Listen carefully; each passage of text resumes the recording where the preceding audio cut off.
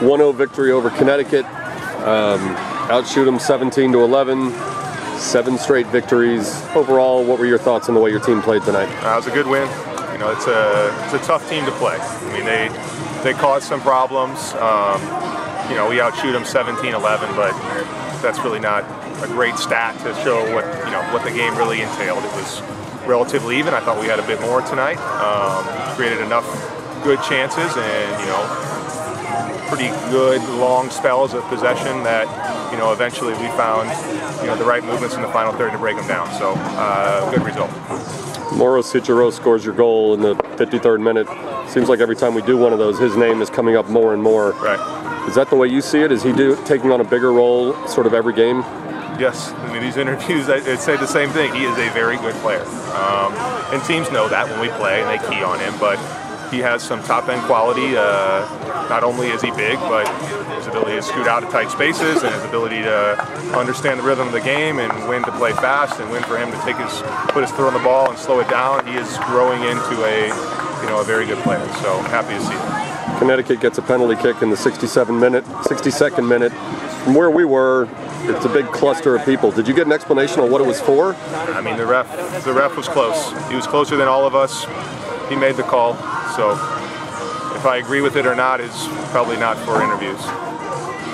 What uh, what kind of lift does your team get when Michael pinches over to the side?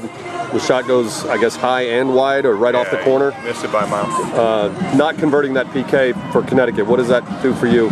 No, I mean, I think it's we felt, you know, I think the guys felt a little uh, hard done by the call. Uh, I'm pretty far away and don't have a great vantage point either, but.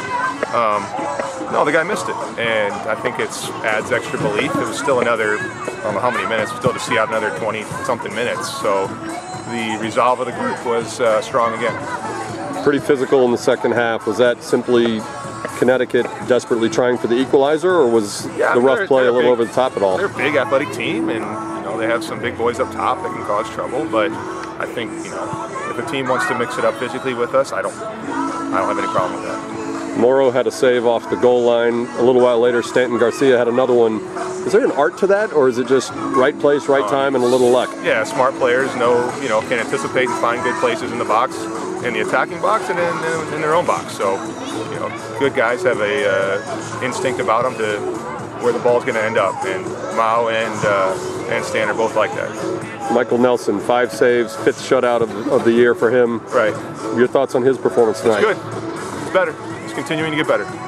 Um, he's growing into it, and it was a good performance for Michael again.